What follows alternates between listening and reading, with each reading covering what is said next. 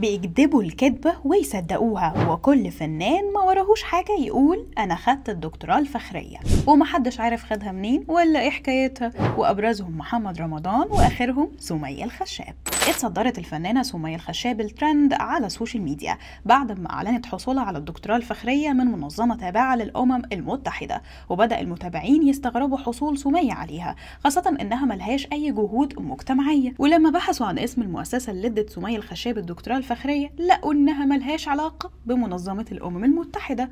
وبدأ المتابعين يفتحوا موضوع الدكتوراه الفخرية وقالوا عنها إنها فانكوش والفنانين بيدفعوا فلوس للمؤسسات والمنظمات عشان ياخدوها ويبقى اسمهم خدوا الدكتوراه الفخرية خاصة إن سمية الخشاب مش أول واحدة من الفنانات تعمل كده فيا ترى إيه حكاية الدكتوراه الفخرية؟ مبدئيا كده الدكتوراه الفخرية شهادة بدون رسالة أو رسالة. يعني تقدر تقول كده إنها دكتوراه شرفية المؤسسة أو المنظمة بتديها لشخص معين تقديرا لمجهوده في مجالات معينة سواء إنجازات اجتماعية أو علمية. ودايما الفنانين بيظهروا ويصدروا فكرة إنهم بقوا معاهم الدكتوراه الفخرية من غير أي إنجاز مجتمعي أو علمي عملوه. وأبرزهم number 1 محمد رمضان واللي سبق وتصدر اسمه الترند. واللي سبق وتصدر اسمه الترند بعد ما تم الإعلان عن منحه الدكتوراه الفخرية في التمثيل والأداء الغنائي ولقبوه وقتها بسفير الشباب العربي. نشر رمضان وقتها صور تكريمه على صفحته على الفيسبوك وعلق عليها وقال أفضل دولية. كمان نشر صور لشهادة الدكتوراه من المركز الثقافي الألماني الدولي في لبنان. وشهادة تانية باسم سفير الشباب العربي من نقابة المسرح والإذاعة والسينما ونقابة محترفي الموسيقى والغناء.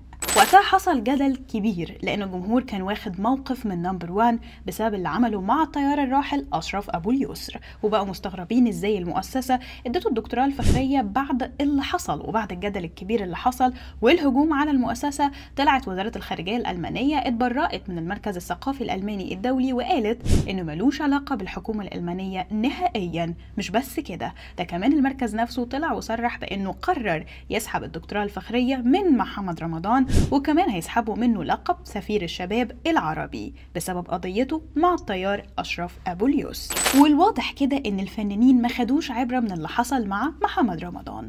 ففجأة ظهرت الفنانة سمية الخشاب بعد اختفاء من الأعمال الفنية وهي لابسة الروب وماسكة الشهادة في إيديها وبتقول إنها خدت الدكتوراه الفخرية من منظمة تابعة للأمم المتحدة. لكن لما المتابعين بحثوا عن اسم المنظمة لقوا إن ملهاش أي علاقة بمنظمة الأمم المتحدة وده اللي خلى المتابعين يربطوا ما بين واقعة سمية الخشاب وواقعة نمبر 1 لأن الاتنين قالوا للجمهور إنهم خدوا الدكتوراه الفخرية من جهات تابعة للدول نفسها لكن ده ما كانش الحقيقة. واكتشف الجمهور والمتابعين الموضوع واتحطوا في موقف محرج جدا. وبقى الجمهور حاسس إن الدكتوراه الفخرية بقت موضة جديدة للفنانين. بيحاولوا يصدروا دايما إنهم خدوا الدكتوراه الفخرية عشان يزودوا شعبيتهم عند الجمهور. وده اللي خلى الجمهور يحس إن الدكتوراه الفخرية فنكوش وبيضحكوا بيها على الناس مقابل إنهم بيدفعوا مبلغ مالي للمؤسسة. وده على عكس اللي كان بيحصل زمان لأن الفنانين زمان كانوا بياخدوا الدكتوراه الفخرية عن استحقاق زي الفنانة فاتن حمامة